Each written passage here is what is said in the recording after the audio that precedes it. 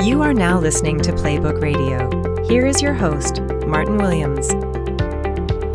And welcome to Playbook Radio. My name is Martin Williams. Don't forget to subscribe to the podcast. You can do so on Apple Podcasts, Spotify, and YouTube. All the links to the podcast can be found at gameplanplaybook.com. That's gameplanplaybook.com. So today what I wanted to talk to you about is uh, how overthinking can wreck your life. So I'm a master at overthinking. And the earliest memory I have of overthinking started in middle school.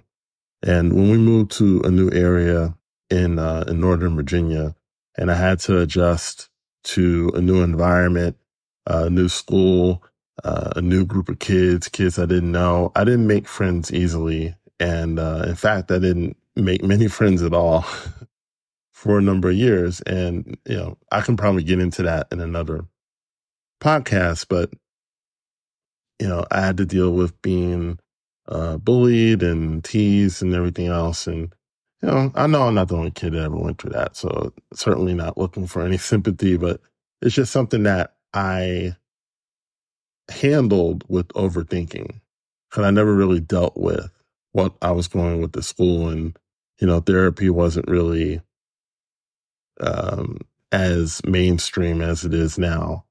So I stayed in my head and I stayed in my head for a long time that, you know, it was safe there. And I didn't really have to be anything other than what I was in my head. Now, as an adult, and I'm sure you know this too, we all know that staying in your head is not really conducive to long term success and certainly not con- conducive to productivity. And in the area of performance, most underperformers stay in their head, whether they're athletes or uh, executives or uh, just the average nine to five person. They stay in their head. And as a, re- as a result, they overthink. Okay. And so overthinking is, is I think some people have a very uh, non extreme view towards overthinking. It they feel that overthinking is normal and everyone does it. So what's the big deal? But I want to make sure that you understand that overthinking is, is, is not normal and it's not something that you want to hold on to long term. And I look at it as a wrecking ball. It can destroy your life and it can destroy your life in ways that you don't really understand at the time. But over time, you see the results. You see what it can do. You see the wake of overthinking the main reason that I look at overthinking as a wrecking ball is because you waste your most valuable resource, which is time. You know, and you waste it one minute at a time. So you don't even realize you're doing it in the moment. Okay. So how are some things that, or some ways rather, that overthinking can wreck habit? The first place is at your work or in your business. So things that you should have been doing or should have been done uh, for the longest time don't ever get started because you thought about it for days, weeks, months, and you did nothing. Right. And overthinkers with a business, oftentimes they think themselves out of profits. They think themselves out of opportunities because they either can't decide or uh, can't muster up the courage to execute or they can't uh, you know, some mix of the two. They either it's either indecision or lack of action, and then they end up doing nothing. And there's so many entrepreneurs, and me, I'm entrepreneur, right?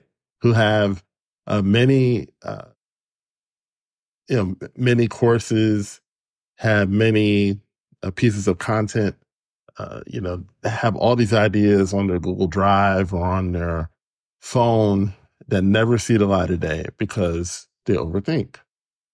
At school, you know, your assignments are late or they don't get done because your mind is in overdrive. You're just thinking, going all the time. It's, it's going all the time. You're processing all the time. and you haven't prepared for your exams. You haven't even started your papers and, you know, those papers get done at the last minute, your exams. You study at the last minute and you might get away with it for a little while, but eventually catches up to you. And the third way is relationships.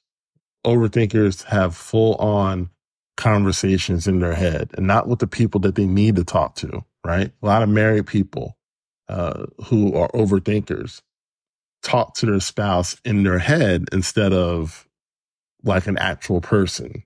And so things that you need to say to that other person often go unsaid because it's safe in your head and you stay in your head. So you talk about it in your mind, but you don't talk about it with the person, right? And relationships, communication is, is like blood to a relationship. So when you don't communicate, relationships tend to die. So what's the cure? What's the answer, right? It's giving you a lot of negative outcomes. So what's the cure to all this?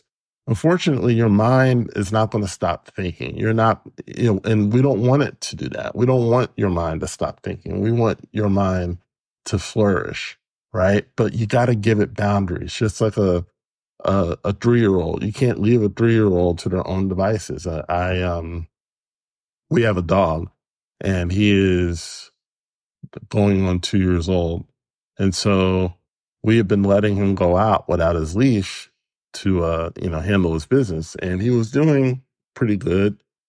And then the other day, I let him out and he uh he basically just took off, right? He he's you know off to the races and uh at at that time I was trying to get my daughter to school, so I really didn't have time to be chasing a a small dog uh, around our complex, but you know, there I was, right? And a lot of times our minds are like that. You know, our minds can just take off and go in, into a completely different direction. And if you don't give your mind boundaries, if you don't give your mind constraints, you are not going to, you are not going to uh, have the type of clear thinking that you need to have. So, how can you help this? How can you, you know, heal overthinking or at least help it to, to, you know, to not do it as much as you normally do? The first way you help it is to decide. Okay. A lot of people who overthink have trouble making decisions and they live in indecision as a result. So if there's something that you've been needing to decide to do, whether it's a, a small decision of, you know, where to get your haircut or hair done or, you know, where to take your unwanted items, or if it's a big decision, like moving or a new job or something like that, sit down and make a decision because the eh, longer that that decision is unmade, the longer you stay in indecision, you build up, you know, basically a lot of thought, but you're not taking action, right? Your mind is con- continuing to over process instead of making a decision. So set a time period, set a deadline to make that decision and then move in that direction. And if you have to pivot, if you have to reassess, then do that. But don't sit on decisions for too long. Make a decision and then move forward. The second thing you want to do is that you want to think on paper. You want to take everything out of your head and put it on paper. Your head is a maze of ideas, fantasies, and other stuff that we're not going to talk about.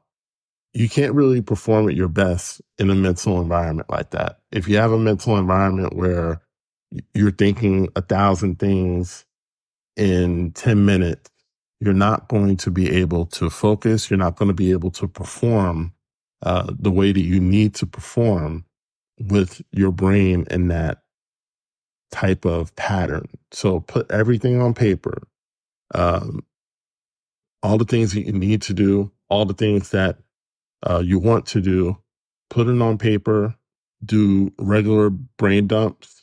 You know, I would say weekly brain dumps are very helpful uh, to take everything out of your head, put it on paper. A lot of stuff doesn't need to be acted on. Some some things you can put it on paper and then just throw it away. But other things, you know, other ideas, you can put it on paper and then strategize it and take action where appropriate. And that leads me into to the third thing, which is to write out and plan as many tasks as possible. One of the things that I've been able to do that has helped me with overthinking is basically writing out everything that I need to do for that day. So whether it's my job, whether it's my business, I, I do my best to write out as much of my plan and my task as possible and then go off of that because my brain needs something to focus on. you know, it's just how it is, right? But if I, you know, if and when I do that, and I do it more often than, than ever these days, it's an antidote to confusion. It's an antidote to a lack of focus because if you're going to focus, you need something to focus on. So my plan acts as a point of focus. It's like a, a, lo- a locus of focus, right? So you focus on the plan, right? And then follow the plan and follow the steps. And it orders my mind, it, it calms my mind down. And I'm able to, you know, basically get a lot more done because I'm not overthinking too much.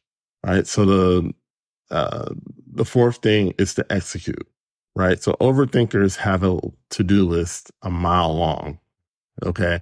And when you make executing the goal and, and not be so tied to result, uh, you start to rack up those wins and you start to clear your mind and you start to look back instead of looking back at regrets and saying, you know, I wish I would have took action. I wish I would have did this you look back and say, Hey, you know, I executed on that. I put that course out. I put that product out.